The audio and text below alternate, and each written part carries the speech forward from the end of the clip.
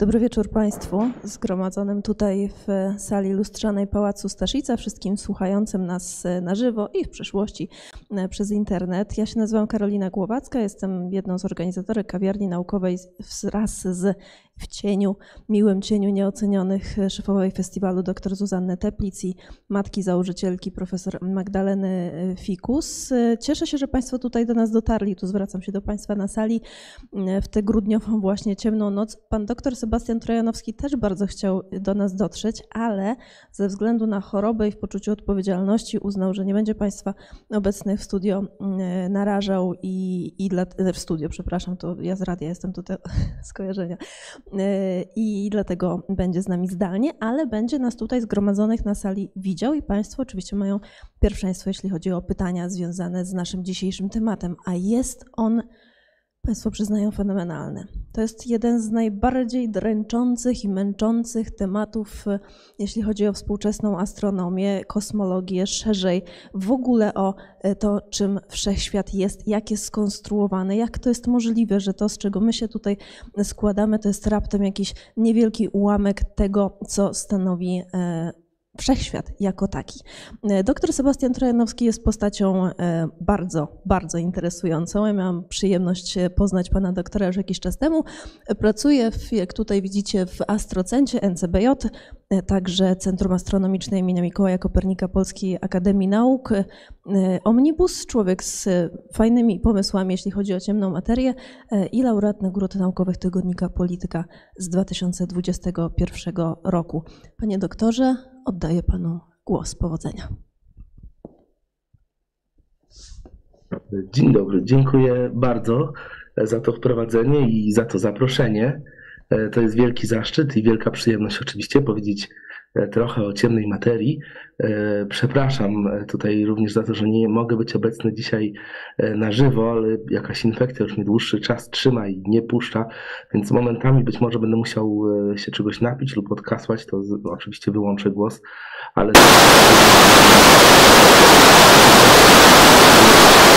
to jest to temat, który rzeczywiście, tak jak powiedziała pani Karolina, no, jest jedną z głównych obecnie zagadek fizyki, astronomii, no, naszych prób zrozumienia tego, jak działa wszechświat.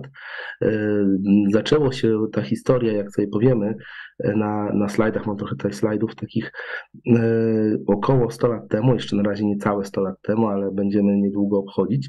W pewnym sensie nawet już obchodzimy, jak, jak wspomnę to stulecie, odkąd zdajemy sobie sprawę, że prawdopodobnie no coś jest nie tak z naszym rozumieniem wszechświata i że, że, że we wszechświecie jest, jest dużo więcej czegoś, czego do końca nie potrafimy określić i, i nadajemy temu czemuś takie właśnie nazwy, które mają to jakoś chociaż przynajmniej nazwać, tak jak ciemna materia.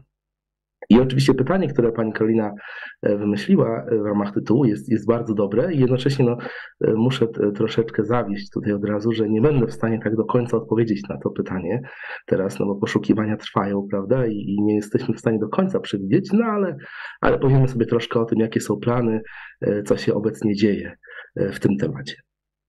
E, także ja nie jestem pewien, jaka jest formuła tych spotkań, ale gdyby były jakieś pytania w międzyczasie, też jak ja mówię, to jak najbardziej ja chętnie będę też opowiadał w międzyczasie na wszystkie Państwa pytania. E, więc e, zacząłbym od takich bardzo ogólnych uwag. E, no, będziemy tutaj trochę mówić o kosmosie, prawda, o, o niebie, więc no, to są tematy, które nas fascynują od, od najmłodszych lat. No, mój synek jest na przykład no, niesamowicie zafascynowany kosmosem, wszystkimi tymi rzeczami. Ja też oczywiście do, do, do jakiegoś stopnia byłem już w młodości. To zostało ze mną, jak widać, do dzisiaj. I, i ważna, ważny taki punkt widzenia na, na nasze obserwacje nieba są takie, które chciałbym tutaj, tutaj zaproponować, są takie, że historia tych obserwacji to jest tak naprawdę historia odkryć kolejnych rzeczy, które były na pierwszy rzut oka niewidoczne, prawda? Czyli, czyli patrzymy na to niebo, widzimy mnóstwo gwiazd, jeżeli jesteśmy daleko od miasta i jeżeli jest bezchmurna noc, oczywiście. Natomiast jeżeli użyjemy coraz lepszych i lepszych instrumentów, to będziemy widzieć coraz więcej. Więc jest to historia odkryć czegoś, co na, na, początku wydaje nam się, że tego nie ma. Dopiero po jakimś czasie zaczynamy to dostrzegać. A jednocześnie z biegiem lat, z biegiem wieków tak naprawdę, jest to też historia rozwoju myśli związanej z tym, jak działa wszechświat. Czyli my, powiedzmy, modeli teoretycznych, czyli po prostu takiej teorii, takiego, takich idei, które są związane z tym, jak, e, jak my rozumiemy, jak działa wszechświat. Ostatecznie, żeby móc powiedzieć, że rozumiemy, prawda, musimy mieć jakiś rodzaj teorii, jakiś rodzaj e, pomysłów, które później też możemy weryfikować poprzez obserwacje. Więc tutaj mam kilka takich obrazków, które to jakoś tam E, pokazują. No, zacznijmy od Galileusza, prawda? To jest e, początek XVII e, wieku, gdy on czynił swoje spektakularne obserwacje astronomiczne przy użyciu nowego narzędzia do obserwacji, które stworzył. I to jest taki przykład sytuacji, której to obserwacje wytyczają kierunek rozwoju nauki. E, więc e, no, nie spodziewano się wielu tych rzeczy, które on zobaczył, jak dodatkowe księżyce, znaczy jak księżyce Jowisza i tak dalej. E, on to po raz pierwszy odkrył, zaobserwował dzięki swojemu narzędziu i to otworzyło dalszy rozdział w rozwoju astronomii. Następnie, jeżeli przesuniemy się w, w czasie około 200 lat później, trochę ponad, ponad 200 lat później i zastanowimy się nad innymi planetami Układu Słonecznego, to ciekawa historia, którą być może Państwo e, znają, jest związana z odkryciem Neptuna, e, które miało miejsce w 1846 roku. E, więc ta planeta na początku została zapostulowana teoretycznie. Jest to pierwszy taki, może nie pierwszy, ale bardzo doniosły przykład w historii, w której na początku postuluje się coś teoretycznie i następnie pyta się doświadczenia, czy eksperymentu, czy obserwacji e, o potwierdzenie tego. E, no, w tamtych czasach były to bardzo takie na tyle jeszcze dostępne nam jakby metody obserwacyjne i eksperymentalne, że można to było zrobić bardzo szybko. Więc Johann Gale, który był astronomem, w zasadzie w dniu, w którym otrzymał listownie informację o takim przewidywaniu, że y, powinna istnieć planeta Neptun, która zaburza nieco orbitę Urana, który był już wówczas znany. Jeżeli dokładnie istnieje w takiej masie i w takiej pozycji w jakimś miejscu, to, to będzie wpływała na tę orbitę Urana tak, jak to widzimy. W zasadzie widząc ten list, tego samego dnia mógł skierować swoje narzędzia obserwacyjne w to miejsce na niebie, poszukać Neptuna, okazało się, że go znalazł. No było to spektakularne odkrycie. E, no z tego, co, e, co, co później się okazało, te obliczenia były błędne, e, w sensie zawierały istotny błąd. Natomiast na szczęście akurat w tamtej sytuacji obserwacyjnej ten błąd nie był krytyczny i na szczęście nie spowodował tego, że Neptun nie został odkryty. E, kolejny taki przykład e, już z XX wieku, e, który tutaj chciałem zaproponować, jest związany z, z już bardziej egzotycznym zjawiskiem zakrzywiania światła w polu grawitacyjnym Słońca. To jest, to jest zjawisko, które no, wymyka się naszej codziennej intuicji. Zostało zaproponowane przez Einsteina, gdy opracowywał swoją ogólną teorię względności. Zauważył, że światło przelatując w pobliżu bardzo masywnych obiektów, takich jak Słońce, może ulegać, tor lotu światła może ulegać pewnemu zakrzywieniu. E, I żeby to zaobserwować, e, zostało nawet zaproponowane, że powinno być to możliwe w momencie zaćmienia Słońca. Więc taka, e, taka Taka sugestia pojawiła się już nawet wcześniej niż, niż w 1915 roku, w którym Einstein ogłosił swoją teorię. Później została jeszcze powtórzona przez niego w 1915 roku, e, ale nie było w tamtym momencie możliwości, żeby od razu dokonać jej weryfikacji. Trzeba było czekać na zaćmienie Słońca i na odpowiednią ekspedycję naukową. Szczęśliwie udało się to zrobić już 4 lata później.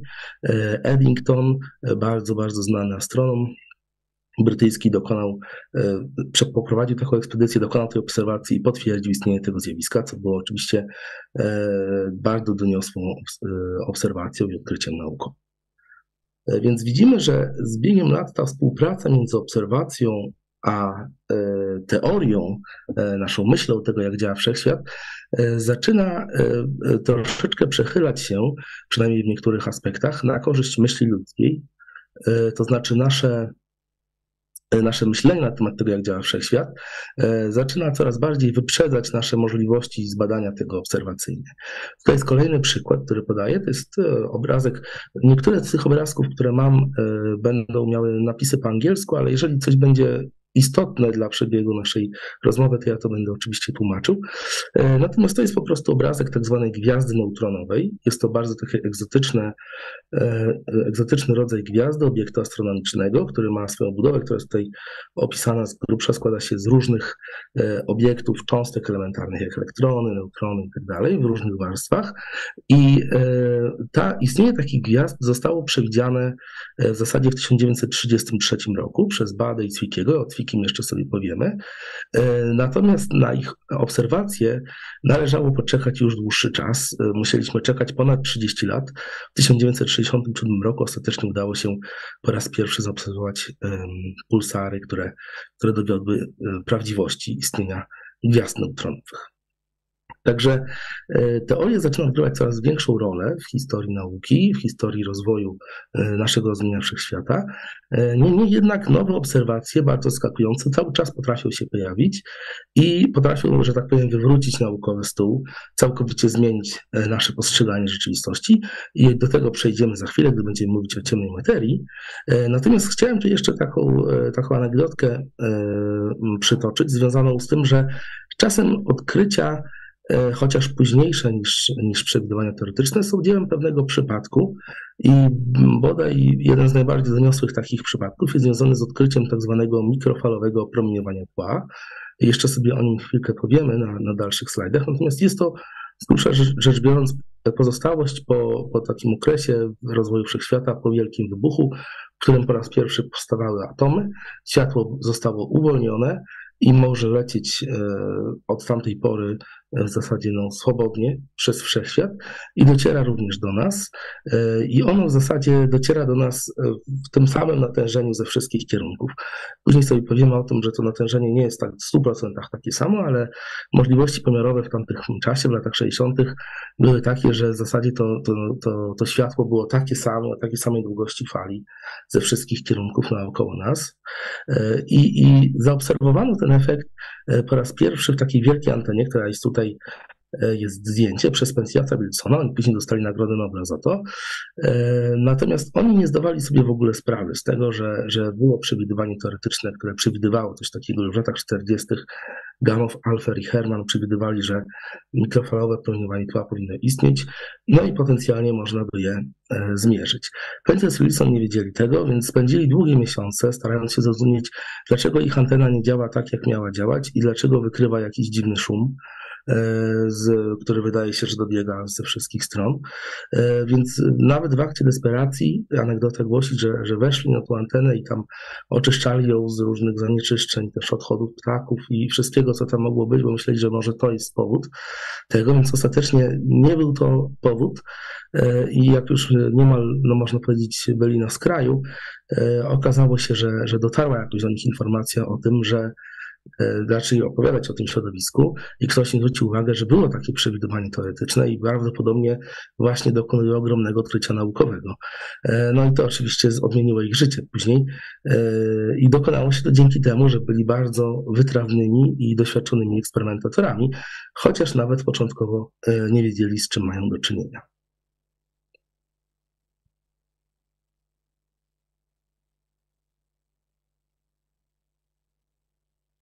Jeszcze tak mówiąc o, o, o w ramach tego wstępu, zanim sobie przejdziemy do ciemnej materii, e, no to chciałem powiedzieć parę słów o, o wielkim przełomie w, fizyce i w astronomii, który się dokonał najpierw no, w początkach XX wieku. To są takie rzeczy, które, które czasem też uczymy się w szkole, więc to um, myślę, że Państwo mogli słyszeć już o tych sprawach. Więc um, pod koniec XIX wieku E, fizykę w zasadzie uważano za, za niemal skończoną.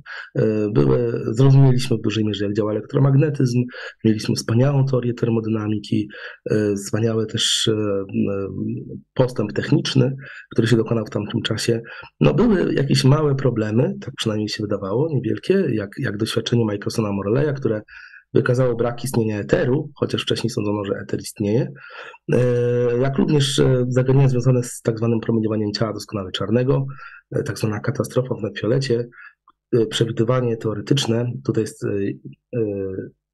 mówimy spektrum w języku fizyki, czyli po prostu zestaw długości fali światła, które powinno emitować e, obiekt, który nazywamy ciałem doskonale czarnym. Są, istnieją takie obiektywy, które są dosyć zbliżone do tego, które potrafimy nawet e, wytworzyć i, i badać ich promieniowanie. I przewidywanie teoretyczne było takie, że, że w zasadzie im mniejsza jest długość fali tego światła, czyli wyższe jakby wyższa energia tych fotonów, wtedy jeszcze nie używano pojęcia fotonu, to coraz więcej, coraz więcej, więcej, więcej tego światła powinno być wytwarzane, w szczególności w zakresie widzialnym, to jest visible, a po angielsku widzialne, no powinno być no, niemalże katastrofa. Tak, tak, to, to ciało doskonale czarne, jakkolwiek paradoksalnie to nie brzmi, powinno świecić jak szalone e, w zakresie widzialnym, ale tego nie obserwowano, obserwowano coś całkiem innego, no to prawdziwa krzywa jest tutaj, więc obserwowano pewien wzrost, później spadek, całkowicie coś niezgodnego z przewidywaniami. No wydawało się, że zarówno to, jak i doświadczenia Michaelsona Morleya no, są rzeczy, które no okej, okay, są problemami, ale jakoś się rozwiążemy, nie musimy się tym bardzo martwić.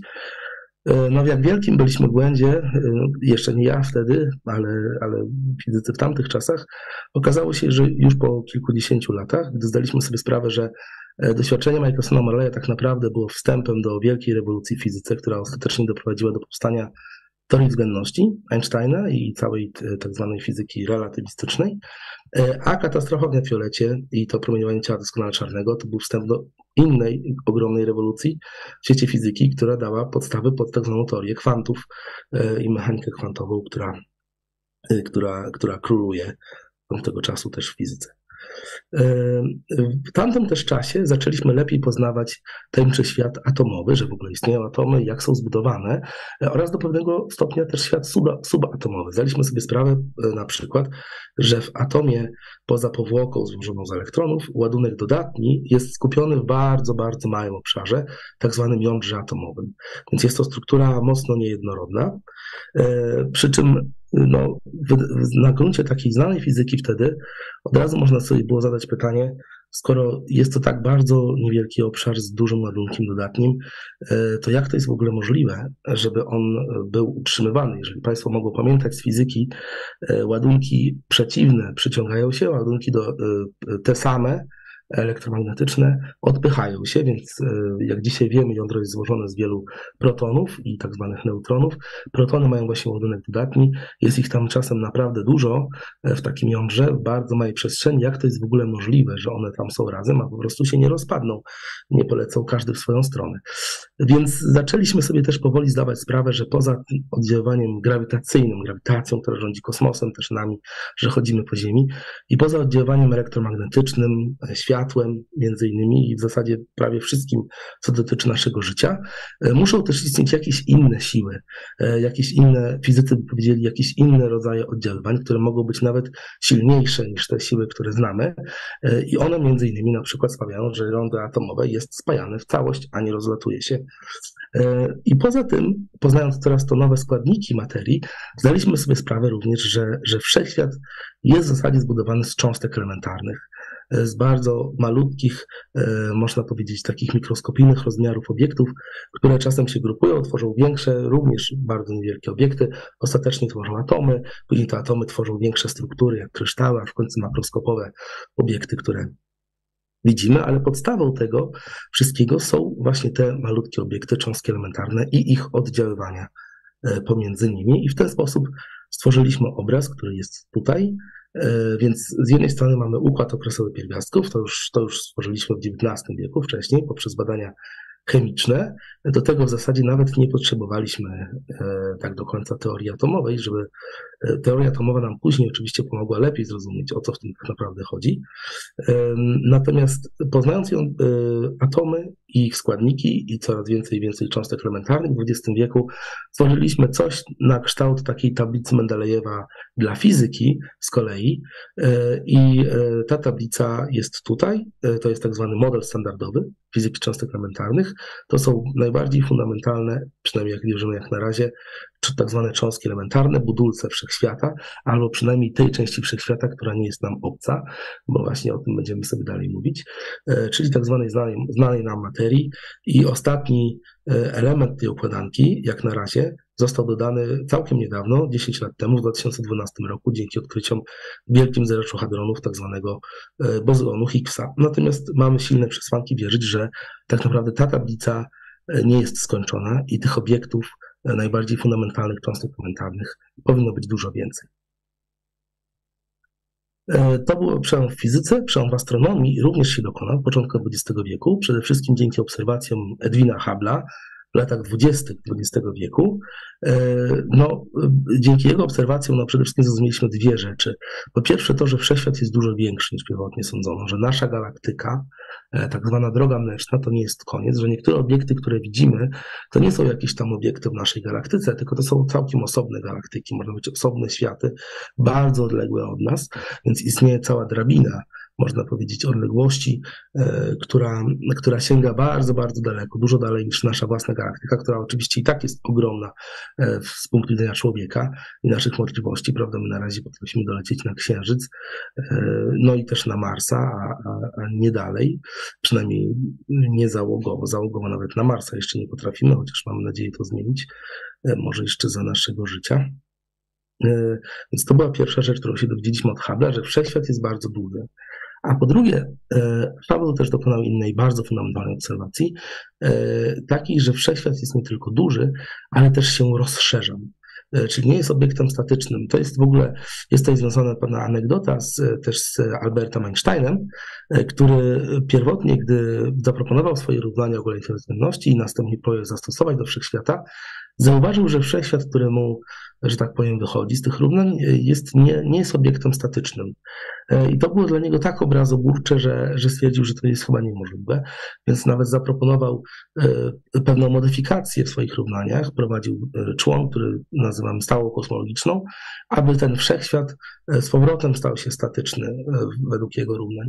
Więc jakiś czas potem Hubble pokazał, że wszechświat tak naprawdę nie jest statyczny, tylko się rozszerza że odległe galaktyki oddalają się od nas, e, że jest to bardzo dynamiczna struktura, to Einstein nawet prowadzenie stałej kosmologicznej nazwał e, największym błędem w swoim życiu, e, choć później, później już po wielu latach okazuje się, że, że czasem wracamy do tego pomysłu z, z całkiem innych powodów.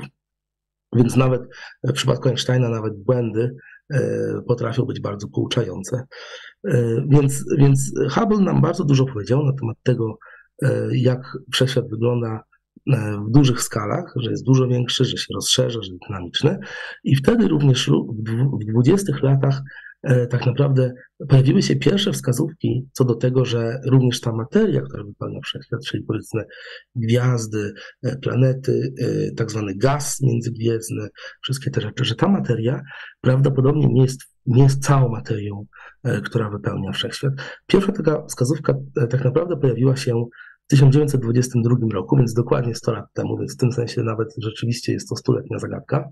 E, w pracach, w pracy Jamesa Jeansa, który dokonał analizy danych zebranych wcześniej w tym samym roku, opublikowanych przez Jacoba Kaptajna, e, tutaj nie wiem, nie jestem pewien, czy dobrze odczytuję nazwisko, e, który był e, astronomem, zebrał dane związane z ruchem gwiazd w naszej galaktyce, w drodze mlecznej. I rzeczywiście były pewne anomalie w tym ruchu gwiazd, nie do końca rozumiałe, ale jednak Kaptajn stwierdził, że, że te anomalie są na tyle niewielkie, że w zasadzie nasze rozumienie drogi mlecznej jest wystarczające, żeby wyjaśnić je. Z kolei James Jeans przeanalizował te same dane i doszedł do całkiem odwrotnych związków. Stwierdził, że absolutnie e, nasze rozumienie drogi mlecznej nie jest wystarczające, żeby wyjaśnić te anomalie. E, I co więcej, żeby je wyjaśnić, powiedział nawet, że prawdopodobnie powinny istnieć dwie niewidzialne gwiazdy przypadające na każdą jedną widzialną. Czyli w języku mm, dzisiejszym powiedzielibyśmy, że powinno istnieć dużo więcej materii, która e, grawitacyjnie wpływa na ruch gwiazd, napędza je, można powiedzieć, w naszej galaktyce, tak aby móc wyjaśnić to, jak, jak te gwiazdy się poruszają. To była taka pierwsza mm, sugestia. E, natomiast e, tak naprawdę no, sama nazwa ciemna materia pojawiła się nieco później, w latach 30. Dzięki temu to panu Zwicky, o którym już wcześniej mówiliśmy, w związku z gwiazdami neutronowymi, więc to był naprawdę genialny fizyk, E, bywał ekscentryczny, nie wszyscy go lubili przez to, bywał bardzo bezpośredni w swoich komentarzach, też wygłaszanych do innych naukowców, co oczywiście nie każdemu przypada do gustu. Niemniej jednak miał naprawdę wspaniałe pomysły. Niektóre jego pomysły, jak w przypadku każdego geniusza, może były mniej wspaniałe i rzeczywiście nie były nie były dobre po prostu, co oczywiście było wielką uciechą jego przeciwników, ale niektóre z jego pomysłów były naprawdę e, wspaniałe i on w, w, właśnie w latach 30. obserwował gromadę galaktyk, e, tak zwaną gromadę Warkocza-Bereniki. E, gromada galaktyk to jest taki obiekt, który grawitacyjnie skupia wiele galaktyk, więc nasza galaktyka, droga mleczna, no to jest, wiadomo, wielki obiekt, który ma miliardy gwiazd w sobie. I w przypadku niektórych galaktyk, takie galaktyki, które mają bardzo wiele gwiazd, dalej się jeszcze grupują w gromady i istnieją w takich wielkich skupiskach galaktyk. Każda galaktyka jest tam osobno, ale one wszystkie są związane w jednym układzie grawitacyjnym. Więc on analizował ruch e, takich galaktyk w w tej gromadzie, jak szybko one poruszają się względem siebie. No i zauważył, że, że przede wszystkim zauważył, że poruszają się bardzo szybko poruszają się bardzo szybko, e, tak szybko, że wydawało się, że to jest niemożliwe, żeby one e, mogły istnieć razem e, w tejże gromadzie. I na podstawie tego stwierdził, że musi istnieć dodatkowa siła, która je spaja. No i to powinna być siła grawitacji, no bo to jest jedyna siła, o której wiemy, że działa w skalach kosmosu. A skoro jest to siła grawitacji, znaczy, że musi tam istnieć dodatkowa masa, czyli dodatkowa materia, która sprawia, że ta gromada galaktyk się nie rozpada. No i ta materia miała wypełniać te ciemne połacie wszechświata między tymi galaktykami, o, przepraszam, nieba, między tymi galaktykami.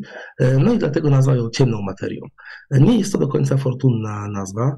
E, lepiej by było, jak sobie powiemy za chwilę, nazwać ją może jakąś niewidzialną materią, czy, czy coś takiego, no ale ciemna się przyjęło i tak już mówimy od tamtych czasów. Więc to było w latach 30. XX wieku. Bardzo doniosła obserwacja, chociaż mm, odbyła się może bez większego echa w tamtym czasie. No, świat też miał wkrótce inne zmartwienia niż myślenie o tym, jak się poruszają prawda, gromady galaktyk. E, natomiast e, trzeba, trzeba było czekać kolejne około 40 lat i w latach 70. XX wieku uzyskaliśmy e, kolejne dowody na to, że, że można powiedzieć, że coś jest nie tak z naszym rozumieniem tego, jak się poruszają e, galaktyki, czy też gwiazdy w galaktykach. Tym razem chodziło ponownie o galaktyki, nie o gromady galaktyk, tylko o same galaktyki i o poruszanie się gwiazd tychże galaktykach. E, no i e, przede wszystkim e, chodziło o tak zwane galaktyki spiralne, więc część galaktyk, czyli wielkich skupisk gwiazd, zresztą tak jak nasza droga mleczna, to są takie galaktyki, które mają większość swojej materii skupionej w takim stosunkowo wąskim dysku. Ten dysk jest bardzo obszerny, więc bardzo rozchodzi się na bok, nie ma tak dużej grubości. Oczywiście, gdy mówię niewielki czy nieduże, to mam na myśli skale astronomiczne, nie, nie skale nasze ziemskie tutaj. I, I te gwiazdy w tym dysku, one krążą wokół centrum galaktyki. No, tak jak planety krążą wokół Słońca, tak te gwiazdy krążą wokół centrum galaktyki. E, no i gdy analizuje się to, jak te gwiazdy się poruszają e, w tym dysku, jak również materia już poza dyskiem, wychodząca poza ten dysk, tutaj mamy taki obrazek, jeżeli Państwo widzą mój kursor, e, wychodzący już nawet poza dysk, można znaleźć materię która jakoś jest związana grawitacyjnie z galaktyką, jak ona się porusza wokół, e, wokół centrum galaktyki, to to, czego się spodziewamy na podstawie znanej nam fizyki, to jest to, że im dalej jesteśmy, e, na początku ta, ta prędkość, gdy się oddalamy od centrum galaktyki, ta prędkość rotacji obrotu ona rośnie, ale gdy oddalamy się coraz bardziej i bardziej, to ta prędkość powinna zacząć spadać. E, jest to po prostu związane z tym, że, że już całkowita czy znakomita część masy galaktyki powinna być skupiona w tym dysku, podczas gdy, gdy wychodzimy poza to i oddalamy się od tej masy, to ta prędkość obrotu wokół tej masy powinna być coraz mniejsza i mniejsza. Tymczasem to, to, to, co zaobserwowano, to jest to, że ta prędkość niestety, czy a na szczęście dla fizyków, nie spada, e, pozostaje, e, e, że tak powiem, płaska, czyli ta sama, na bardzo, bardzo dużych dystansach, dużo dalej niż, niż sam dysk się rozciąga, jego główna część. E, więc e, taką krzywą nazywa się krzywą rotacji galaktyk. Jest to po prostu zależność prędkości obrotu materii wokół centrum galaktyki od odległości od tego centrum. E, I, i ta obserwacja no, no, pokazuje, że coś jest nie tak z, z naszym rozumieniem tego, że większość materii w galaktyce powinna być w dysku.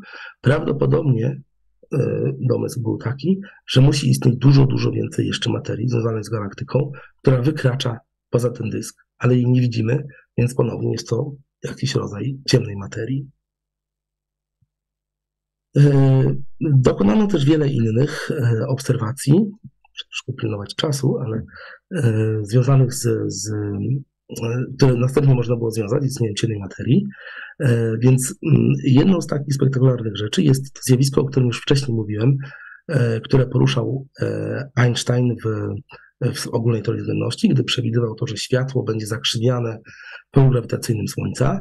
Więc takie zjawisko zakrzywiania toru lotu światła o, można je również obserwować, obserwując bar, bardziej odległe obiekty w kosmosie, nie tylko nasze Słońce.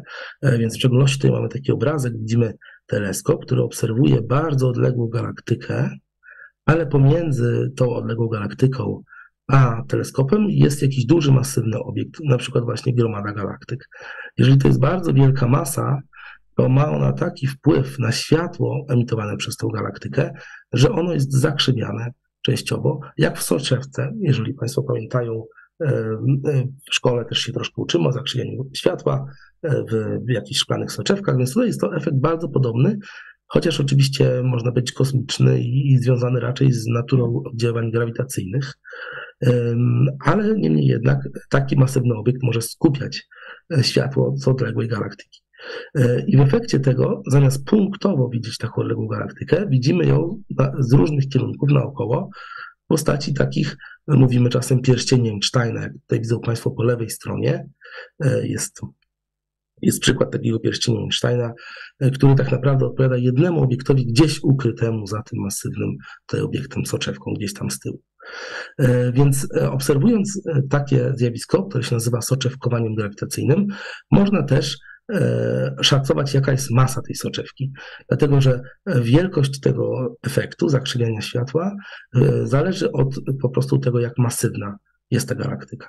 Następnie porównując takie oszacowanie, które po prostu szacuje całkowitą masę z galaktyki, z naszym szacowaniem, które potrafimy robić masy, e, akurat to jest gromady galaktyk, na podstawie widzialnego światła, potrafimy porównać całkowitą masę takiej gromady z masą widzialną, z tej materii, którą coś zdajemy sobie sprawę, że istnieje.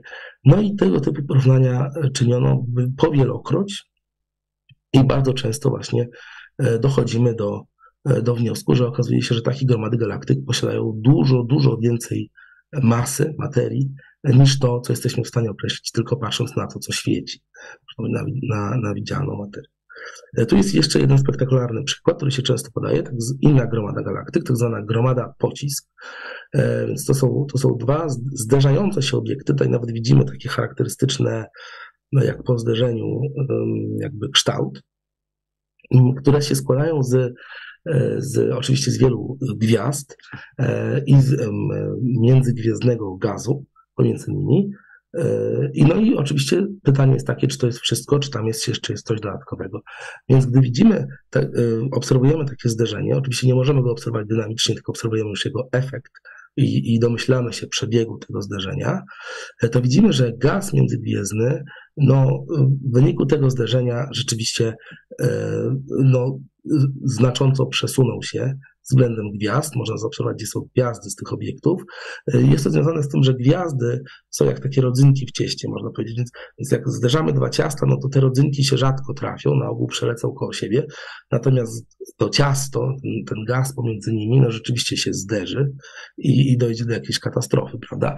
I w efekcie tego można powiedzieć, że te rodzynki polecą dalej, odseparują się troszkę od tego, od tego ciasta, od tego gazu. I teraz wiem, że e, główna część widzialnej masy takich galaktyk jest skoncentrowana właśnie e, w obszarach tego gazu.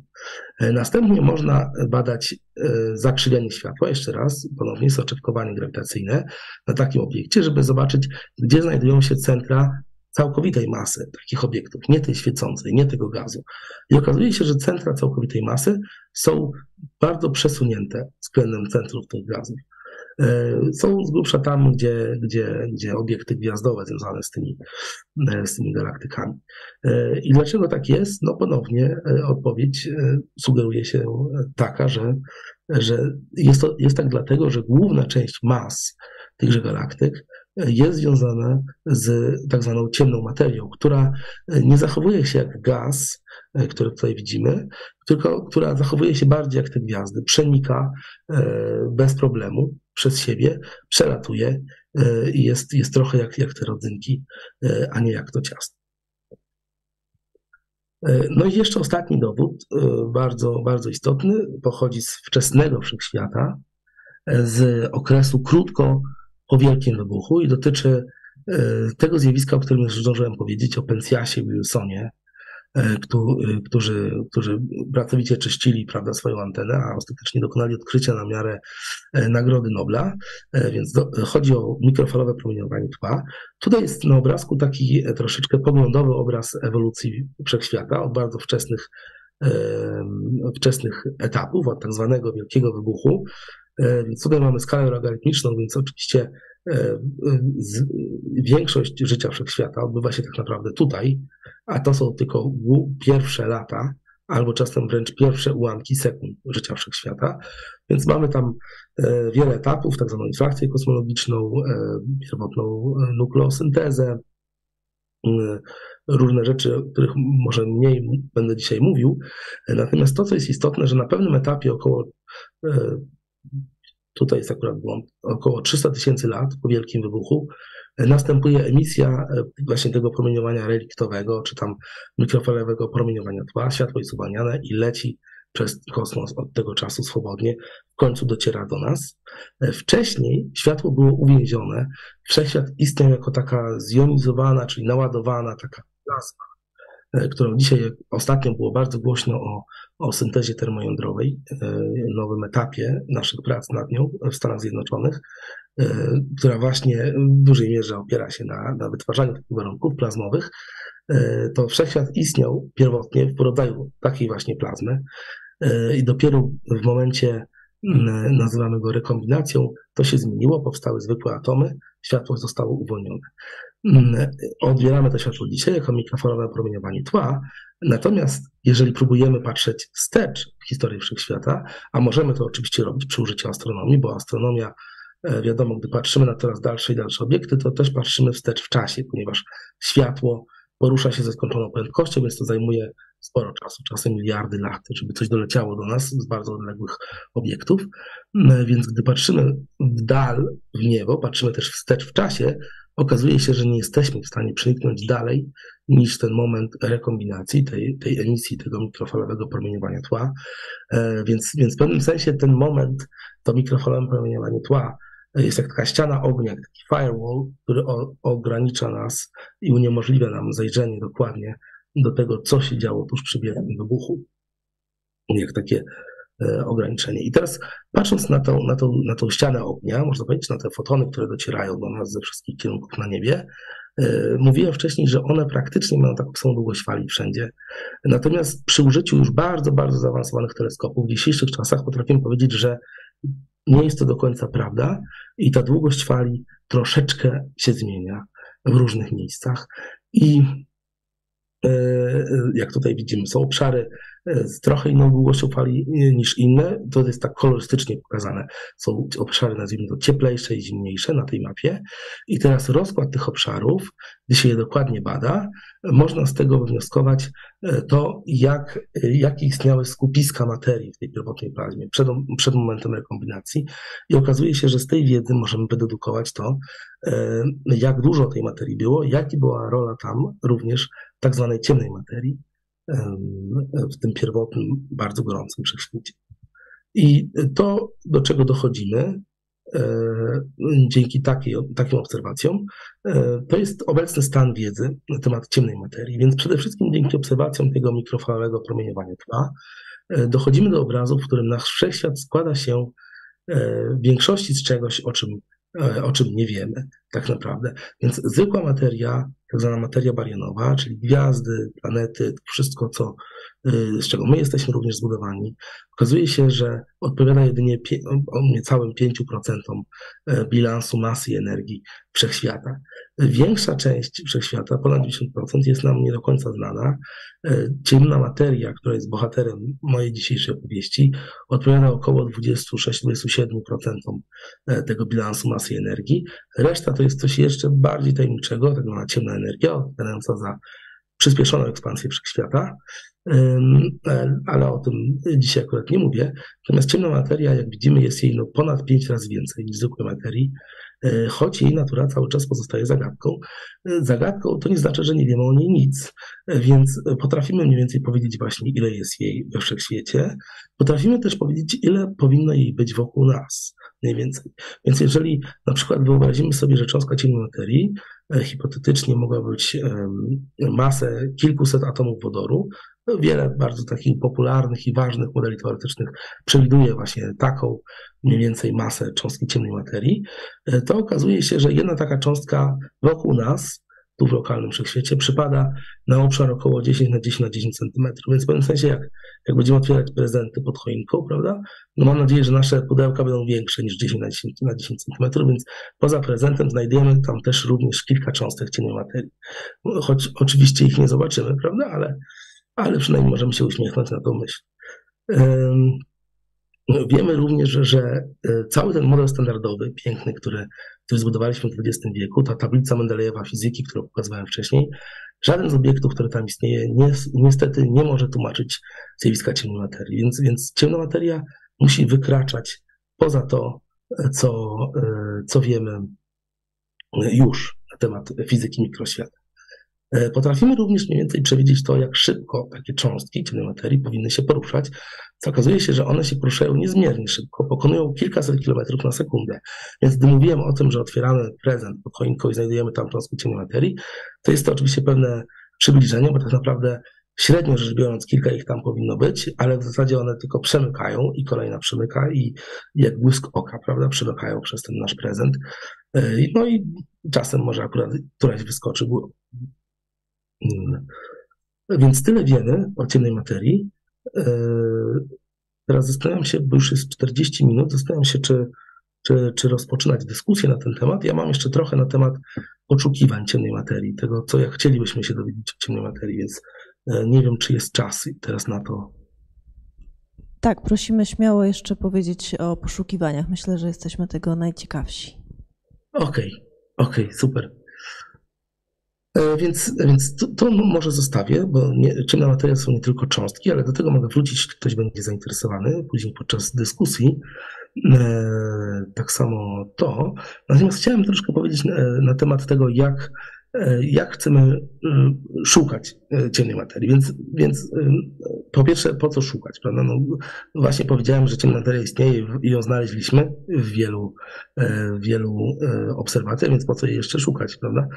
No, chodzi o to, że, że o, owszem, widzimy dowody na istnienie ciemnej materii grawitacyjne w bardzo wielu obserwacjach astronomicznych, natomiast chcielibyśmy jednak móc powiedzieć więcej na temat natury też innych oddziaływań e, cząstek ciennej materii z tym e, znanym nam wszechświatem, znaną, znaną nam materią. Przede wszystkim chcielibyśmy móc powiedzieć, skąd w ogóle się ciemna materia wzięła e, w, we wszechświecie. Jak to jest, że powstała, jak to jest, że powstało jej aż tyle. Więc mamy oczywiście szereg pomysłów teoretycznych na ten temat. No i bardzo popularne takie pomysły zakładają, że ta ciemna materia wyłoniła się z pierwotnej zupy cząstek. Pierwotnie ta zupa cząstek tuż po wielkim wybuchu była zdominowana przez znane nam cząstki, że znaną nam materię, ale w wyniku e, różnych oddziaływań w tejże zupie cząstek pojawiły się też cząstki ciemnej materii. Na początku było ich mało. E, z biegiem czasu okazało się, że to one zdominowały e, tą historię, tę ewolucję wszechświata. I teraz, jeżeli to jest prawda, jeżeli taki obraz jest prawdziwy, E, to ten proces, który prowadził do powstania cząstek ciemnej materii w pierwotnym wszechświecie, powinien również e, sprawiać, że te cząstki ciemnej materii w jakiś sposób no, potrafią rozmawiać z naszą zwykłą materią, potrafią z nią oddziaływać. E, I w związku z tym powinniśmy móc znaleźć efekty tego, jak cząstka ciemnej materii oddziałuje z materią. Więc jest, dzięki temu mamy szereg, kilka przynajmniej sposobów głównych poszukiwania ciennej materii. Jeden z nich opiera się na bezpośrednich poszukiwaniach cząstek ciennej materii w takich wielkich eksperymentach podziemnych. Więc zdążyłem powiedzieć, że cząstki ciennej materii poruszają się z bardzo dużymi prędkościami, rzędu setek kilometrów na sekundę, więc one przemykają przez detektor mgnieniu oka, można powiedzieć. E, I teraz, jeżeli one rzeczywiście oddziałują i w inny sposób niż grawitacyjnie ze znaną nam materią i dzięki temu mogły powstać w kosmicznym świecie, to czasem, czasem, bardzo okazjonalnie taka przemykająca cząstka ciennej materii może też oddziałać z jakimś jądrem atomowym w takim ogromnym detektorze. E, w wyniku tego oddziaływania powstaje, powstaje światło i powstają też e, wolne elektrony, które są w polu elektrycznym tutaj przesuwane. Takie ogromne detektory obecnie już od wielu lat prowadzą poszukiwania ciennej materii, no na razie bezskutecznie, więc nie udało nam się jeszcze znaleźć tego typu sygnału związanego z ciemną materią. E, no, są to bardzo trudne, precyzyjne takie pomiary, które właśnie się prowadzi przez wiele lat, które mają, muszą być bardzo, bardzo sterylne. To jest taki przykład eksperymentu e, tego typu. Więc tam w środku jest e, na przykład kilka ton albo jedna tona jakiegoś ciekłego gazu szlachetnego, na przykład może ciekły ksenon albo ciekły argon. E, wypełnione to wszystko jest elektroniką na brzegach i szukamy tego typu zjawisk. Oczywiście detektor może się rozświetlić w wyniku bardzo prostych, e, znanych nam rzeczy, jak jakaś radioaktywność czy coś takiego, więc to wszystko trzeba wykluczyć, więc to wymaga sztabu ludzi, żeby, żeby opracować taki eksperyment i żeby móc rzeczywiście szukać tego, czego chcemy, tego, co, co wykracza poza znaną nam fizykę. E, więc to są oczywiście wielkie wyzwania, natomiast nadzieje z tym programem są takie, że no, budujemy coraz większe, doskonalsze eksperymenty i obecnie w budowie między innymi jest taki duży eksperyment DarkSide, e, który będzie się odbywał we wnętrzu góry we Włoszech. Mamy polski akcent za, za zaangażowanie akurat z grupy, e, w której ja też pracuję, chociaż ja nie jestem zaangażowany w ten eksperyment, ale moi koledzy tak. No i to jest eksperyment, który będzie miał 20 ton, 20 tysięcy ton ciekłego argonu i będzie nakierowany na na właśnie poszukiwanie tego typu sygnałów. Będzie to w zasadzie no, taki dominujący eksperyment, który ma ambicje, aby przetestować wiele bardzo popularnych, bardzo obiecujących modeli teoretycznych, aż do, e, do tak zwanego e, tła neutrinowego. Na pewnym etapie okazuje się, że neutrino, znane nam cząstki, mogą wyglądać jak ciemna materia, więc to jest problem już w takich poszukiwaniach, ale chcemy przynajmniej przetestować wszystko, co możemy aż do tego momentu. Więc to są tak zwane bezpośrednie poszukiwania pod ziemią. E, astronomia e, też e, próbuje nam coś powiedzieć na temat ciemnej materii, więc ciemna materia wypełnia cały wszechświat, jest również wokół nas, może uderzać w te podziemne detektory, jest również w naszej galaktyce, od tego zaczęliśmy. E, I, no i tak jak sądzimy z powodów grawitacyjnych, e, ta ciemna materia powinna się w większym stopniu skupiać jednak w centrum galaktyki, chociaż jej halo, tak mówimy, rozciąga się również daleko poza widoczny dysk. No i takie skupienia ciemnej materii w centrum galaktyki mogą sprawiać, że takie cząstki ciemnej materii mogą się tam częściej spotykać ze sobą, a również cząstki i antycząstki, więc więc, więc tak jakby antymateria ciemnej materii, która również w bardzo wielu modelach teoretycznych powstaje na równi z ciemną materią we wczesnym wszechświecie e, i w wyniku takiego spotkania materii i antymaterii, ciemnej materii i ciemnej antymaterii, może dojść do procesu, e, mówimy, anihilacji, e, tak jak nas uczy Einstein o równoważności masy i energii. Taka anihilacja może prowadzić do powstania nowych cząstek lub też światła, promieniowania e, świetlnego. I, ta, i, to, to powstaje gdzieś tam daleko, daleko w centrum galaktyki, ale takie cząstki lub też fotony, światło mogą lecieć przez całą galaktykę i docierać w końcu do nas, do takich teleskopów naziemnych lub też do stacji, do eksperymentów umieszczonych e, na orbicie, na przykład to jest eksperyment na Międzynarodowej Stacji Kosmicznej. I potrafimy E, poszukiwać takich sygnałów i próbować je identyfikować jako związane z ciemną materią. Oczywiście nie jest to łatwe, dlatego że gdy szukamy, e, można powiedzieć, no, szukamy światła świecącego z centrum galaktyki, no to jak szukanie igły stogusia, naprawdę, no, galaktyka świeci cały czas. E, więc jak odróżnić to światło zwykłe od tego od ciemnej materii? Więc mamy szereg tak naprawdę eksperymentalnych strategii, jak to zrobić. Mamy też jakieś rozumienie tego, jak działa zwyczajny zwyczajny wszechświat, zwyczajne centrum galaktyki, więc wiemy, czego szukać, co byłoby zaskakujące, czegoś, czegoś nowego i mogłoby świadczyć o nowej fizyce, na przykład ciennej materii. No i robimy takie poszukiwania już od lat. No, na razie niestety nie, nie udało się również znaleźć sygnału tego typu. Nadzieje są, są związane z tym, że po raz kolejny wkraczamy w nową generację takich teleskopów. Tutaj jest E, przykład tak tak zwany Cherenkov Telescope Array, czyli taka, taka sieć teleskopów tak naprawdę, również z polskim udziałem. To są na ogół duże, wielkie, międzynarodowe projekty, no, które będą wypatrywały się w centrum galaktyki e, i szukały tak naprawdę odpowiedzi na wiele pytań w astronomii, nie tylko związanych z ciemną materią, ale między innymi sygnałów tego typu od ciemnej materii.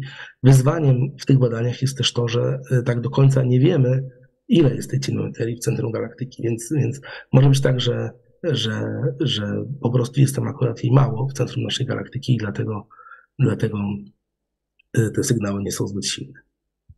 Y, no i teraz y, miałem, mam trochę slajdów o wielkim zarzucie hadronów, ale to tylko tak przejdę parę z nich. Więc trzecim taką główną metodą, poza metodami bezpośrednimi poszukiwania podziemnych detektorach i poza metodami pośrednimi pośrednimi, takimi jak no właśnie światło z centrum galaktyki. Jest też taka metoda poszukiwania materii, która opiera się na tym, że próbujemy odtworzyć warunki wielkiego wybuchu na Ziemi. E, oczywiście nie potrafimy samego wielkiego wybuchu, ale warunki no, zbliżone do jakichś tam ułamków sekund po wielkim wybuchu. I aby to robić, zbudowano ogromny e, zderzacz cząstek, akcelerator, tzw. Tak wielki zderzacz hadronów, na granicy, na granicy pomiędzy Szwajcarią a Francją. E, tutaj widzimy to kółko, to, to jest projekt przyszłego akceleratora, więc to większe białe kółko to jeszcze nie jest, e, nie jest obecne, natomiast to mniejsze niebieskie już jest. Ono i tak jest bardzo duże, ma obu 27 km, e, jest pod ziemią. Tutaj widzimy przekrój takiego kółka, e, mniej więcej 50 do 175 metrów pod ziemią, zależy w którym miejscu, bo, bo ukształtowanie terenu no, też ma jakieś wzniesienia i, i obniżenia. I rozpędzamy w tymże, w tejże rurze, w wielkim zderzaczu hadronów, protony, czyli jądra atomu wodoru, do bardzo, bardzo ogromnych prędkości, bardzo bliskich prędkości światła. E, więc mm, te protony to są cząstki naładowane, już o tym mówiliśmy, mają ładunek dodatni. Gdy je rozpędzamy e, i gdy mieścimy bardzo potężne magnesy e, gdzieś tam na drodze takich protonów, to w polu magnetycznym naładowane cząstki mają, zakrzywia się ich tor. Uczyliśmy w tym w szkole o tak zwanej sile Lorenza, ale każdy jakoś tam sobie łamał palce e, przy tej okazji, żeby to zrozumieć. E, no i to jest taka prosta fizyka, która się też przykłada na to, jak działa ostatecznie wielki zderzacz hadronów, więc możemy e, zakrzywiać tor takich protonów tak, żeby one się trzymały w tej rurze i krążyły po tym kółku powielokroć, aż rozpędzą się do tych ogromnych prędkości, o które nam chodzi, do wielkich energii. No, Wielki Zależ Hadron to jest oczywiście no, projekt y, no, międzypokoleniowy, można powiedzieć, więc tutaj nawet Frank Wilczek kiedyś porównał go do, do wielkich piramid egipskich jako taka odpowiedź cywilizacji naszych czasów na piramidy e, egipskie, natomiast jest to o tyle, no, y, można powiedzieć, że lepsze, donoślejsze odkrycie, e, przepraszam, zdobycz, że tak powiem, cywilizacyjna, y, jako że zostało to zbudowane dzięki kooperacji wielu narodów, y, a nie pod przymusem czyimś, prawda, tylko dzięki umowie i, i naszym rozmowom. Więc gdy rozpędzamy te protony, ostatecznie w kilku miejscach takiego zderzacza, w takiej rury, zderzamy je ze sobą. Tutaj są takie eksperymenty. Jeden z nich się nazywa Atlas, jest taki eksperyment CMS, Atlas jest akurat po stronie szwajcarskiej, niedaleko Genewy. CMS jest po drugiej stronie, we Francji. Jeszcze jest wiele innych eksperymentów. I gdy zderzamy te takie, takie protony, do takich zderzeń dochodzi około miliard razy na sekundę, więc to jest ogromna ilość zderzeń. E, I taki, taki zderzacz działa prawda, przez kilka miesięcy w ciągu roku, więc ogromną ilość danych zbiera. To na krótką chwilę w takim zderzeniu e, odtwarzamy warunki po wielkim wybuchu. E, i próbujemy zrozumieć w ten sposób to, jak mógł działać wszechświat w tamtym czasie. Więc jeżeli cząstki ciemnej materii e, były rzeczywiście produkowane wtedy, to również powinny być produkowane w takich zderzeniach. Oczywiście z pewnym prawdopodobieństwem, zależy, e, zależy od modelu teoretycznego i tak dalej. Natomiast no, taka jest ogólnie idea, że powinny również powstawać w takim zraczu, w wielkim zraczu hadronów. I teraz one są nieuchwytne w zasadzie, nie oddziałują praktycznie na zalaną materię, więc jeżeli powstaną w takim zderzeniu, to one mogą swobodnie w zasadzie uciec z tego punktu zderzenia jako taka brakująca energia. Więc jeżeli potrafimy przeanalizować takie zdarzenie i wszystkie jego produkty, a tych produktów e, potrafi być bardzo wiele, to jest przykład takiego zdarzenia i jak dużo, jak dużo można powiedzieć, cząstek jest produkowanych i e, taki, jak widać, no, grzemień to może nie najlepsza nazwa, ale taki mm, po prostu bardzo wiele jest tych cząstek produkowanych i tych śladów w detektorze. Potrafimy je wszystkie przeanalizować i zobaczyć ostatecznie, jak dużo z tej energii zderzenia udało nam się odzyskać w nich. Jeżeli się okaże, że istnieje jakaś bardzo duża energia brakująca w takim bilansie, e, to na podstawie tego potrafimy do, dociec, że e, prawdopodobnie powstała jakaś cząstka ciemnej materii, która uniosła dużą część e, tejże, tejże energii zderzenia gdzieś w sposób niewidoczny i uciekła nam z detektora. Tu jest przykład takiego detektora, detektor Atlas, ogromna konstrukcja, 46 metrów długości, 25 metrów średnicy, to jest 7 tysięcy ton e, wypełnionych naprawdę po brzegi elektroniką. E, kilka tysięcy ludzi należy do tej kolaboracji eksperymentalnej. Oni czuwają nad przebiegiem tego procesu. To jest człowiek, prawda, standardowy człowiek według rozmiarów prawda, Unii Europejskiej sadzony i e, można go porównać z, stałym, z całym, z całym rozmiarem detektora. Co ważne, tak jak powiedziałem, tych zderzeń tam jest miliardy, około miliard na sekundę, więc, więc to jest tak ogromna ilość danych, rozbiera ten detektor, że niestety technicznie e, dzisiaj nie jesteśmy w stanie tych danych z detektora tak szybko odprowadzić i je gdzieś e, jakby na jakichś dyskach, że tak powiem, zapisać. Jest to technicznie niemożliwe, więc ten detektor musi mieć e, kilka tak naprawdę poziomów, gdy większość, znakomitą większość danych odrzuca. To jest niestety no, minus. Zbudowaliśmy tak wspaniały wspaniałe narzędzie, jak wielki zależ hadronów i następnie musimy znakomitą większość danych, które on produkuje, odrzucić od razu, zanim nawet zdążymy się im przyjrzeć, ponieważ nie jesteśmy w stanie ich poszukać, no i, yy, przepraszam, zapisać. Yy, no i tutaj, tutaj się pojawia ogromna rola właśnie teorii, współpracy teorii z eksperymentem. Yy, teoretycy, tacy jak ja jestem teoretykiem akurat, próbują powiedzieć dość kolegom, doświadczalnikom, eksperymentalistom to, E, czego powinni tak naprawdę szukać e, i jak powinni nastawić te swoje instrumenty, żeby nie odrzucić przypadkiem tego, czego powinni szukać. Mogą odrzucać inne rzeczy, ale nie to.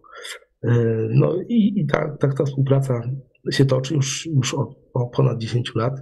Udało się dzięki temu odnaleźć bozon Higgsa, natomiast no, na razie jeszcze nie udało się odnaleźć śladów ciennej materii w tych eksperymentach. E, z uwagi na czas ja bym zaproponował, że, e, że teraz przejdę do, e, do podsumowania, natomiast dalej jeszcze mogę innych rzeczy opowiedzieć podczas dyskusji później. Więc co warto zabrać do domu z mojego wystąpienia? Więc mm, Przede wszystkim oczywiście no, takie ogólne stwierdzenie, że wszechświat jest dla nas zagadką. No, zdajemy sobie sprawę, prawda, e, nawet i bez słuchania o ciemnej materii, e, że jest dużo rzeczy, których nie rozumiemy. Natomiast to, co jest istotne i to, co starałem się też jakoś w abstrakcie do tego wystąpienia wspomnieć, e, to jest to, że mm, warto też zdać sobie sprawę z tego, jakie miejsce zajmujemy w tym wszechświecie. Więc, więc już nie chodzi nawet o nas jako ludzi, ale cała materia, która jest nam znana, z której jesteśmy zbudowani my, gwiazdy, te obiekty, których, z którymi mamy do czynienia, nawet obserwacyjnie obserwując kosmos, to, to jest zaledwie 5% wszechświata. Więc w pewnym sensie jesteśmy pewnym marginesem wszechświata. E, dlatego troszkę to tak chciałem porównać do, do tego, co, co, co się stało w umysłach ludzi, gdy, gdy Kopernik ogłaszał swoje idee, prawda, i jakim, to było trudnością tak naprawdę, żeby, żeby przyjąć to, że, że to jednak Słońce jest w centrum Układu Słonecznego, a nie Ziemia. E, I tutaj tak naprawdę astronomia obecna, chociaż to w dużo mniejszym stopniu przenika do, do naszej świadomości, mówi nam coś podobnego na temat całego wszechświata, że to wszystko, z czego sobie zdajemy sprawę, jesteśmy my zbudowani, to jest jakiś margines tego, e, czym jest e, wszechświat. Natomiast większa część jego pozostaje nadal zagadką dla nas i próbujemy ją poznać i szukamy śladów istnienia, w szczególności tej ciemnej materii, której jest około 5 razy więcej niż zwykłej materii, e, i w kosmosie, dzięki astronomii, i w podziemnych detektorach próbujemy ją wytwarzać sztucznie w naszych eksperymentach e, i w szczególności Wielkim Zarzucie Hadronów. E, tutaj jest, wspominam o eksperymencie Phaser, który miałem okazję zaproponować, to mogę później opowiedzieć, ktoś będzie zainteresowany. Ale to jest tylko jeden z eksperymentów, a ważne jest to, że jest to wynik pracy wielu badaczy mm, materii, no i, no i cały czas staramy się ją odnaleźć. Dziękuję bardzo. Bardzo serdecznie dziękujemy pan doktor, tak, oklaski, oklaski, pan doktor Sebastian Trojanowski. Zasłużona chwila e, na łyk wody, bo e, sami Państwo słyszeli, jak pan doktor walczył, walczył dla nas e, ze swoim gardłem i dzięki temu powiedział nam dużo ciekawych rzeczy. Widzę, że są już pierwsze pytania, bardzo prosimy. Tak, Dziękuję za Ja- wykład.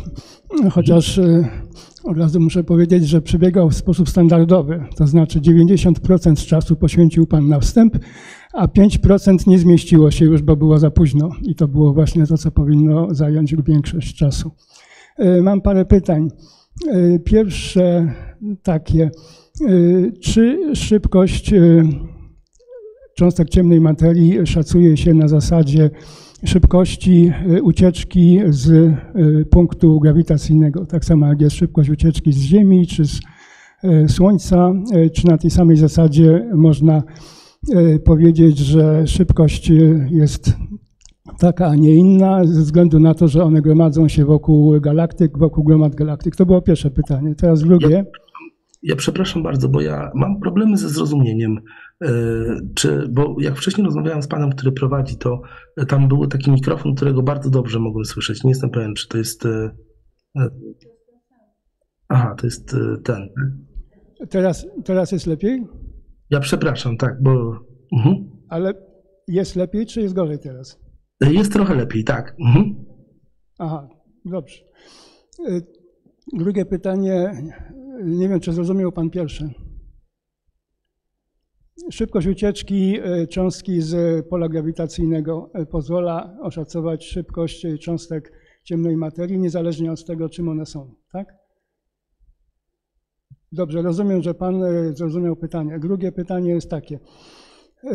Jak na razie w LHC nie potwierdzono hipotezy supersymetrii. Z kolei y, cząstek, super, y, cząstek ciemnej materii poszukuje się w zbiorze postulowanych cząstek supersymetrycznych. Te dwie koncepcje są wzajemnie sprzeczne. Czy y, nadzieje na potwierdzenie supersymetrii są nadal dobrze uzasadnione, czy też może trzeba byłoby zmienić koncepcję cząstek ciemnej materii? Następne pytanie. Y, Ja cały czas mam problem z zrozumieniem, ale jeżeli ktoś byłby w stanie napisać na czacie, przepraszam, to ja, ja wtedy może będę. Czy, czy dobrze zrozumiałem, że jedno z Pana pytań było, dotyczyło supersymetrii, czy, czy to tylko mi się przesłyszało? Tak, dotyczyło supersymetrii. No, Okej, to ja to najpierw chętnie odpowiem na to pytanie, a, a, a dalej, gdyby ktoś mógł, to nawet w dwóch zdaniach, ja postaram się domyśleć o co. Przepraszam, to ja- jakoś tak e, nie wiem, nie jestem pewien dlaczego. A więc jeżeli chodzi o supersymetrię, tak, jaki jest status tego, e, jak domyślam się, i tych obserwacji, więc rzeczywiście e, supersymetria była wiodącym e, kandydatem na wytłumaczenie natury cząstek ciemnej materii, więc ja tutaj wrócę do jednego ze slajdów, które pominąłem który jest, tutaj jest niestety obrazek po angielsku, ale ja tylko powiem krótko, że tutaj są tak naprawdę no, pięć głównych rodzajów, można powiedzieć, kandydatów na, na wytłumaczenie zjawiska ciemnej materii obecnie, które się rozważa. E, To są tak zwane e, mikro, mikroczarne dziury powstałe we wczesnym wszechświecie, cząstki wimpy, ciemna materia o masie poniżej masy protonu, aksjony i, i ultralekka ciemna materia. Więc e, jeszcze 10 lat temu, czy 15, w zasadzie ten obrazek głównie by się skupiał na, na, na tym fragmencie, na, wim, na wimpach. I cząstki supersymetryczne e, to jest właśnie taki klasyczny e, przykład wimpów. E, Naj, najbardziej taki mm, e, doniosły, można powiedzieć, przykład. Więc co to są wimpy? To są cząstki, które zaproponowano jako e, jako taki rodzaj cięższych neutrin. Neutriny są cząstki, które znamy w modelu standardowym. Wimpy to są, prawda, miały być takimi ciężkimi analogami, można powiedzieć. I okazało się, że, że one mogły być pro- produkowane w odpowiedniej il- ilości, obfitości we wczesnym wszechświecie i w ten sposób nazwano to nawet Wimp Miracle, takim cudem Wimpów. Wydawało się, że to jest no, wspaniała, mm, wspaniała propozycja teoretyczna. Poszukujemy tych wimpów i w szczególności cząstek supersymetrycznych, z których najlżejsza, którą jest głównie na ogół tak zwane neutralino, najlżejsza cząstka supersymetryczna, jest właśnie kandydatem na WIMPa i na ciemną materię. Poszukujemy ich już od lat, można powiedzieć. I w zasadzie supersymetria była jednym jednym z głównych, poza, poza bozonem Higgsa, jeden z głównych powodów, dla których zbudowano e, wielki zeracz hadronów. E, bozon Higgsa udało się odkryć i badamy jego właściwości. Supersymetrii niestety e, jak na razie nie. Natomiast jaki jest status? Domyślam się, że pytanie mogło być tych obserwacji. Więc ten eksperyment, o którym tutaj wspomniałem, przepraszam, ten eksperyment DarkSide, w szczególności ta nowa generacja eksperymentów poszukiwań ciemnej materii bezpośrednio pod Ziemią, ma ambicje, żeby przetestować bardzo ważną hipotezę teoretyczną związaną z supersymetrią i z, z kandydatem supersymetrycznym na cząstki ciemnej materii. Jak na razie, chociaż szukamy od lat, nie udało się odnaleźć e, takiej cząstki, to, to okazuje się, że jeszcze istotne scenariusze teoretyczne nie zostały w ogóle przetestowane, bo nie dało się ich zrobić do tej pory, potrzeba po prostu większych eksperymentów. Tenże eksperyment ma to zrobić.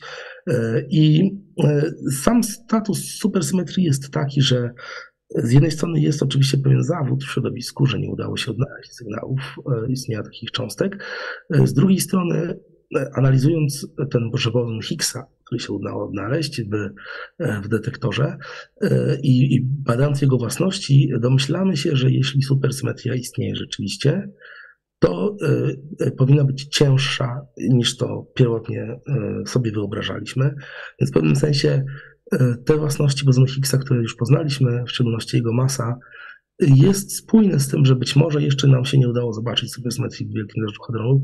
Jeszcze być może potrzebujemy więcej danych żeby to zobaczyć. Więc, więc status supersymetrii jest taki, że rzeczywiście no, troszeczkę spadło z piedestału bycia jedyną główną teorią, za którą się opowiadamy, ale dalej jest w zasadzie jedną z kilku najbardziej wiodących i istotnych e, teorii, które mogłyby tłumaczyć zjawisko ciemnej materii.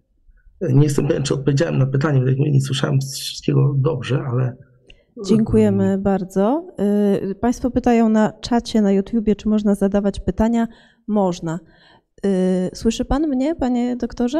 Tak, tak, tak słyszę. Dobrze. Mhm. Kto z państwa zgromadzonych na sali? Bardzo proszę. Ja chciałbym zapytać y, o eksperyment DarkSide. Ciekawi mnie, co się stanie, y, jeśli ten eksperyment się powiedzie i zostanie wykryta ta czarna, ta, czarna cząstka. Dziękuję. E, tak, e, no właśnie. O, przepraszam. Dobrze.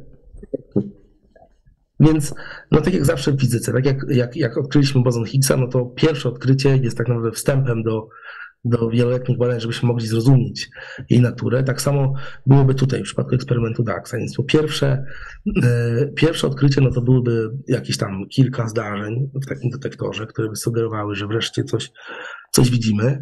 E, no to jeszcze e, my, my jako fizycy, no jesteśmy osobami przynajmniej staramy się być bardzo ostrożnymi, więc e, tak naprawdę samo pojedyncze odkrycie w jednym detektorze, jakkolwiek wspaniały by nie był, e, to jeszcze nie jest coś, co nas do końca przekonuje, że tak na pewno działa natura, ponieważ no, już wiele razy widzieliśmy takie sytuacje również w naszej dziedzinie, że ktoś coś ogłaszał, później musiał się wycofywać z tego. Nawet w wielkim zarażu hadronów o którym tutaj mówiłem, e, mamy wiele tych eksperymentów, między innymi ten Atlas i CMS, które są dużymi e, eksperymentami robiącymi podobne rzeczy, dwoma różnymi, właśnie po to, żeby mogły nawzajem się, że tak powiem, e, sprawdzać. Więc pierwszym krokiem, gdyby eksperyment DarkSide zobaczył ślad takiej cząstki, byłoby to, że chcielibyśmy, żeby inne eksperymenty też mogły to zobaczyć i potwierdzić ten sygnał, ponieważ już się zdarzały w tych bezpośrednich poszukiwaniach pod ziemią fałszywe sygnały. Je, je, były kolaboracje eksperymentalne, które twierdziły, że coś odkryły, nawet z bardzo dużą statystyczną istotnością, ale później inne kolaboracje nie widziały tego i, i ostatecznie trzeba było stwierdzić, że to był jakiś inny efekt, nie, nie ciemnej materii. Więc to byłby pierwszy efekt. Dalej chcielibyśmy zrozumieć um, więcej tego, jak, jak silnie oddziałuje cząstka jaką ma masę, bo to by nam mogło powiedzieć więcej na temat struktury tego rozszerzenia modelu standardowego, o którym mówiłem, bo ostatecznym celem naszym jest próba zrozumienia tego, jak działa wszechświat i jak powstała ta ciemna materia. Żeby to móc zrozumieć, nie wystarczy nam samo odkrycie tejże cząstki, ale musimy też zrozumieć to, jak ona oddziałuje ze znaną nam materią. Tutaj mamy tak, w, tym, w tej tabelce mamy tak zwane fermiony i bozony, więc fermiony to są cząstki materii, e, te, które budują nas, a bozony to są cząstki, które pośredniczą w ich oddziaływaniach, więc odpowiedzialne są, są tymi siłami, o których się mówi e, potocznie, można powiedzieć w języku fizyki. Więc gdy odkryjemy nawet nową cząstkę materii, ciemnej materii, która swoją drogą nie musi być fermionem, ale ale może być, e, to dalej będziemy chcieli zrozumieć, jak ona rozmawia ze zwykłą materią, w jaki sposób, na jakiej podstawie. Więc będziemy chcieli zbudować cały gmach teoretyczny. Supersymetria, którą wspomniałem wcześniej, e, jest takim przykładem takiego gmachu, e, który tak naprawdę proponuje bardzo, bardzo, bardzo wiele nowych cząstek. Cały w zasadzie model standardowy odbity w lustrze, można powiedzieć, tylko że cięższych cząstek. I, i ciemna materia jest tylko elementem tej układanki. Więc, więc e, najprościej rzecz ujmując, odkrycie śladów Darkseid e, będzie oczywiście wielkim przełomem i tak naprawdę zaproszeniem do, do dalszych badań, żeby, żeby coś z tego odkrycia zrobić. Na razie jesteśmy niestety na takim etapie już od wielu lat, że, że, po, że tylko przesuwamy nasze ograniczenia, limity eksperymentalne, że, że tu też nie ma cienia materii, tu też nie ma, i tu też jeszcze jej nie ma, e, więc, więc na razie świętym gralem jest zobaczenie tego sygnału, a później będzie zrozumienie dokładnie jego natury. Tak jak z naszą zwykłą materią. Najpierw zrozumieliśmy, że są atomy, a dopiero później zaczęliśmy je rozkładać na czynniki pierwsze i, i, i ostatecznie mamy, prawda, nawet rozumiemy promieniotwórczość, mamy energetykę jądrową i tak dalej. To są, na razie no, próbujemy chociaż zobaczyć wreszcie ten sygnał.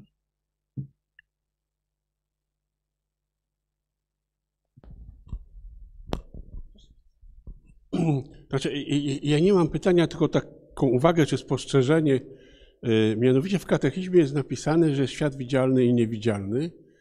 I w modlitwie wyznanie wiary też są takie słowa y, stworzyciel y, świata widzialnego i świata niewidzialnego. Więc teraz muszę powiedzieć, że na ten świat niewidzialny fizycy mówią ciemna materia. Znaczy pan w którym momencie powiedział, że lepsze byłoby określenie niewidzialna materia. No tak, na pewno niewidzialna materia to właśnie byłoby lepsze pojęcie. Zresztą, e, no tak, mówimy właśnie widzialne, niewidzialne, natomiast e, to, to jest to trochę będzie takie względne, prawda, jeżeli mówimy o fizyce, bo to, to znaczy, że coś jest widzialne, prawda? Więc potocznie byśmy myśleli, że widzialne znaczy, że mogę to widzieć oczami, prawda? E, albo doświadczać swoimi zmysłami. E, więc w praktyce my mówimy o cząstkach elementarnych, których nie możemy tak no, doświadczać, e, więc i tak je doświadczamy poprzez nasze detektory, które są bardzo czułe, które badają różne efekty tak dalej. Nawet, nawet w tym eksperymencie tutaj ostatecznie nie widzimy tej cząstki ciemnej materii, a widzimy tylko efekt jej oddziaływania, prawda? Więc, więc jest to takie trochę pośrednie. Więc no, mówimy niewidzialne, myślę też w takim sensie na razie niewidzialne e, e, dla naszych detektorów. E, natomiast mamy nadzieję właśnie, że, że wkroczy to do świata widzialnego ostatecznie dzięki odkryciom, które, które chcemy poczynić E, swoją drogą, jeszcze wracając do pytania, które pani Karolina zadała w tytule, więc kiedy nadejdzie, no to oczywiście nie wiem, kiedy nadejdzie ten przełom, e, natomiast te eksperymenty, o których mówię, jak DarkSide, czy, czy CTA, czy eksperymenty w wielkim zarzutu dronów, no to są rzeczy, które się już dzieją lub są budowane i, i będą dostarczać danych w ciągu powiedzmy dekady, czy, czy dwóch dekad od teraz, więc przynajmniej z tych eksperymentów będziemy wiedzieć ostateczną odpowiedź w tym okresie czasu, więc to jest jakiś skończony e, okres. E, natomiast nie wiemy oczywiście, czy to będzie pozytywna odpowiedź, więc to jest, e, to jest pewna niewiadoma. Czy może Pan podpowiedzieć, z jakimi prędkościami poruszamy się w przestrzeniach astronomicznych? O, tak, to jest świetne pytanie. E, tylko muszę przyznać, że zapomniałem niestety teraz tej wartości, ale to są astronomiczne prędkości, bez wątpienia. W sensie, więc o cząstkach ciemnej materii mówiłem, że to, że to są prędkości rzędu kilkuset kilometrów na sekundę, prawda? Teraz nie pamiętam, gdzie ten slajd jest, ale gdzieś tutaj, prawda? E, miałem ten slajd.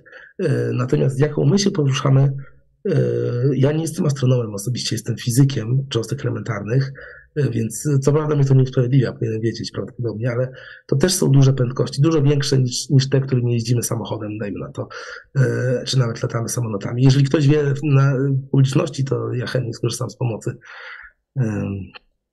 Pan wie? Ale to są bardzo, bardzo, bardzo duże. Wokół Słońca poruszamy się z szybkością 30 km na sekundę, a Słońce razem z nami wokół centrum galaktyki, o ile dobrze pamiętam, tego tu już głowy nie dam, coś około 200 km na sekundę. O, 220, no proszę.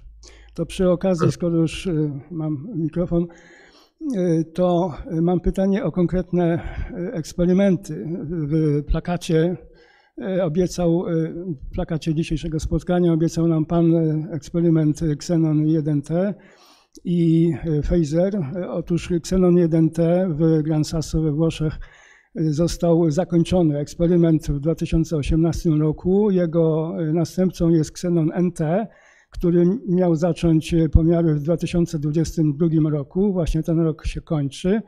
Pierwsze pytanie jest, czy te eksperymenty już zaczęły zbierać dane. Drugie pytanie jest takie. Drugi eksperyment, który Pan obiecał, to był eksperyment Phaser przy LHC. On też miał rozpocząć zbieranie danych w 2022 roku, który właśnie się kończy. Czy on zaczął działać i zbiera już jakieś dane, jakie są wyniki? I trzecie pytanie. W Stanach Zjednoczonych, z tego co wiem, też są pewne projekty realizowane. Proszę też o parę informacji, na jakim etapie, na jakiej zasadzie działają i czy mają jakieś wyniki. Dziękuję. Znowu miałem troszeczkę problemy. Pierwsze pytanie dotyczyło eksperymentu, wydaje mi się, jakiegoś, czy są już jego wyniki, tak? Czy mógłby, może Pani Karolina, czy mogła Pani powtórzyć nazwę tego eksperymentu? Pfizera i który, jak, Phaser przy LHC i Xenon NT, Xenon NT NT w we Włoszech. we Włoszech. Czy one już zbierają dane? Jeszcze raz nazwę, Czy przepraszam. one już zbierają dane? Tak, tak, ale jeszcze raz nazwę. Xenon Przepraszam. NT. Jakoś mam problem niestety, ale eksperymenty, które obecnie zbierają dane. Ja, ja w ogóle przepraszam, że tak z tym, z, tym, z, tym, z tym głosem, ale w ogóle chciałem powiedzieć, że jeżeli będą jakieś pytania, które nie dam rady odpowiedzieć z tego powodu, to ja chętnie też mailowo odpowiem, jakby ktoś chciał, że tak powiem, dalszy kontakt. Natomiast eksperymenty. Więc tak, wydaje mi się, że jedno z pytań dotyczyło chyba eksperymentu Phaser, o którym wspomniałem w LHC. Więc ten eksperyment już zbiera dane. Tak, to jest eksperyment, który zaczął zbierać dane w tym roku na wakacje, przepraszam, na, na, na wiosnę. I on będzie zbierał dane przez no teraz przez 3-4 lata, tylko że zawsze w LHC jest tak, że jakikolwiek eksperyment w LHC, który obecnie działa, czy, czy ma działać, w zasadzie zbiera dane w okresie takim wiosenno-wakacyjno-jesiennym. W zimę już nie, bo, bo prąd jest za drogi po prostu i, i wtedy LHC zatrzymuje swoją działalność, bo zbyt duży byłby koszt prowadzenia tych eksperymentów po prostu.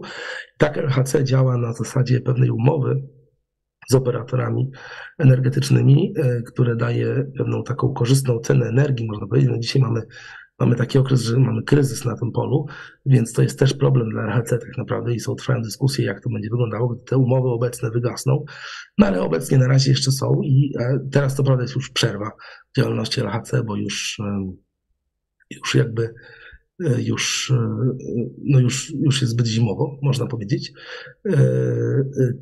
Teraz ja może powiem o paru innych eksperymentach, bo tak, przepraszam, nie byłem w stanie wszystkiego usłyszeć, ale więc eksperyment DarkSide, o którym tutaj mówię, to on jeszcze nie działa, on dopiero ma być budowany, ale działa, już, już obecnie są zbierane dane w takich prototypowych eksperymentach, wstępach, można powiedzieć, a poza tym jest to technika eksperymentalna, która jest rozwijana od lat i jest wiele eksperymentów tego typu, które już rzeczywiście działają, albo niektóre już nawet skończyły swoją działalność już wieki temu.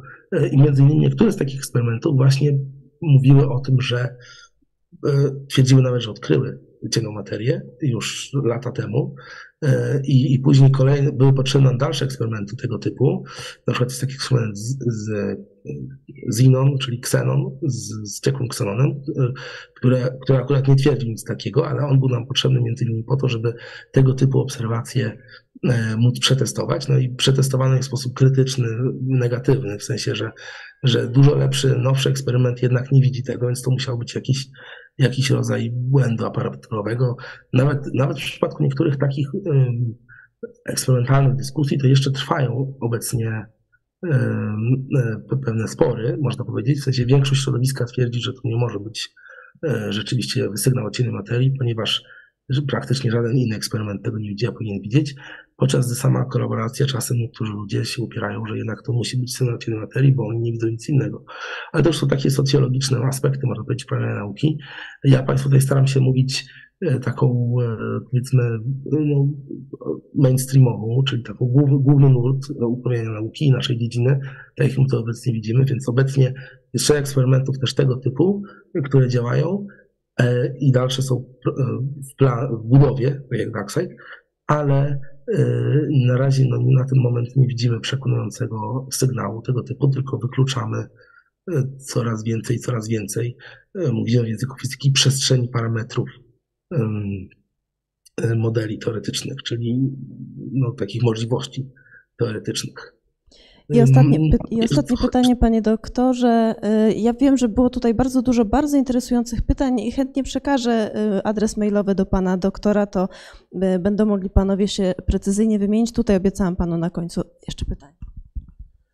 Ja przepraszam. Chciałem zapytać, na ile eksperyment Eddingtona jest istotny w Pana prezentacji, bo ja z punktu widzenia filozoficznego, jako eksperymentator, prawda, y, próbowałem analizować wiarygodność interpretacji eksperymentu Eddingtona. To znaczy, on został opublikowany w New York Times jako, y, powiedziałbym, news i później, rok później był artykuł naukowy. I w tym artykule naukowym e,